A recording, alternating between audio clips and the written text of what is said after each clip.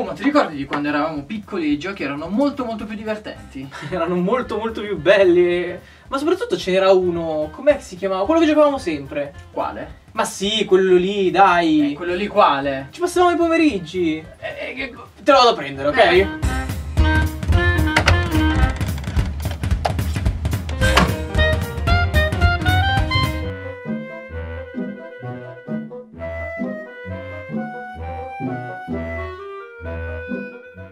Nel 1999, a un passo dal suo sessantesimo compleanno, Bugs Bunny arrivò su PlayStation e su PC con un platform distribuito da Amphogram e sviluppato da Behavior Interactive. Si trattava di Bugs Bunny Lost in Time, il primo di due esperimenti basati sull'universo Looney Tunes, che l'azienda francese, detentrice all'epoca della maggioranza delle quote societarie di Atari, lanciò sul panorama videoludico sul finire degli anni 90. Bugs Bunny è in viaggio per raggiungere Pismo Beach, la sua tanto anelata meta per le vacanze, il tortuoso percorso attraverso le sue famose gallerie sotterranee però lo conduce a una città non troppo lontana da Albuquerque, dove ritrova una strana macchina. Pensando fosse una centrifuga di succo di carota, Bugs decide di metterla in moto, ritrovandosi però a bordo di una macchina del tempo che lo consegna tra le mani di Mago Merlino. Dopo un simpatico siparietto fatto di magie e di tranelli, Merlino spiega al coniglio che l'unico modo per tornare al presente è quello di raccogliere tutte le sveglie che gli permetteranno di aprire progressivamente il varco verso la sua meta originaria, ossia Pismo Beach.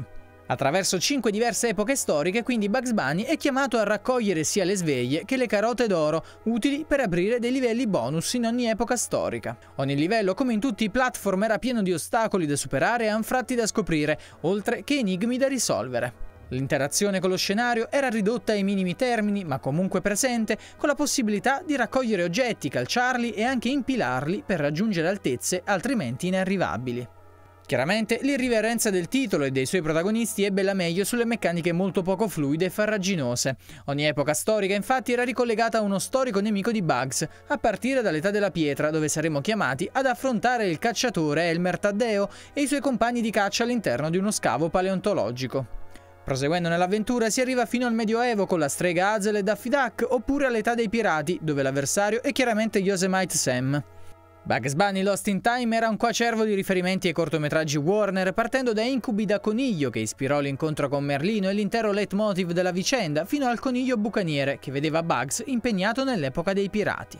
Per Bugs Bunny Lost in Time il successo non fu altissimo, complice un uso sconsiderato della telecamera, un approccio troppo legnoso al combat system relegato a semplici calci nel sedere agli avversari e una non altissima varietà nelle location. Nonostante ciò però Amphogram ci riprovò un anno dopo esatto con un sequel indiretto, Bugs Bunny e Taz Time Busters, che ripartiva dalle stesse meccaniche di viaggio ma con un plot diverso basato su un errore compiuto da Daffy Duck. Con un hub di gioco di partenza come Spyro the Dragon, il titolo permetteva in qualsiasi momento di cambiare personaggio giocabile, così da sfruttare le abilità sia di Bugs che di Taz. Con il supporto di un buon doppiaggio che vedeva Massimo Giuliani a prestare la voce a Bugs Bunny, così come nella serie animata, e con l'irriverenza propria dei Looney Tunes, Bugs Bunny Lost in Time non conquistò la critica, ma resta un prodotto che negli anni ha saputo ritagliarsi quell'angolino di cuore di tutti i videogiocatori degli anni 90, che sgranocchiando una carota hanno sempre voluto chiedere: Che succede, amico?